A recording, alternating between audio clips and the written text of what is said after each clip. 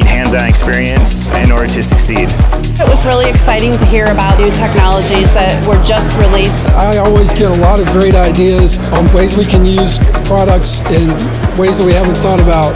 It's really exciting to be part of all the adoption that's, that's happening and really the leadership that AWS has. It's really intended to be an opportunity for you to learn more from your peers about how they're using AWS. We've launched well over 500 new major features and services this year. Everything that used to be hardware is now software.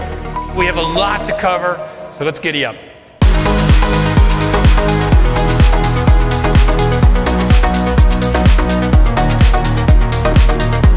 I don't work enough with CloudFormation, so I'm coming in here to kind of get some hands-on experience with the technology. Our customers got in a room and we solved a problem for them. The after hours events here at re:Invent are awesome, and it's a nice way to unwind after a full day of learning.